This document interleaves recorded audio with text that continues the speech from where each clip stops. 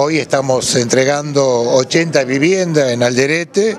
Para mí como gobernador, este, que la universidad pueda hacer este tipo de cosas es importantísimo y yo quiero agradecer a la rectora porque yo sé que ella cuando no era rectora ha trabajado fuerte en poder eh, conseguir con el gremio este, este, lugar y poder hacer estas 80 casas. Estamos muy contentos porque se nos cumple uno de nuestros sueños estábamos esperando ya hace dos años que nos inscribimos y bueno, y ahora se nos dio eh, un sueño cumplido. También es un sueño para mi hijo que ya, porque no teníamos nuestra casa propia y bueno, se nos cumplió y bueno, ahora seguir eh, cumpliendo nuestro sueño. Estoy muy contento y agradecido por esta oportunidad y estar feliz de tener mi propio, mi propio techo, algo que lo vengo buscando hace años, tanto para mí como para mi familia.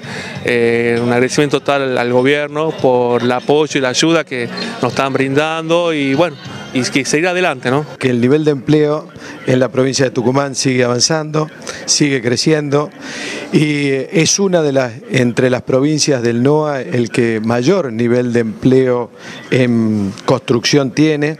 Y acá se dan lo que yo siempre digo, por un lado dar solución a la gente que es poder tener una casa y por el otro lado es cuidar el empleo que es lo que necesitamos.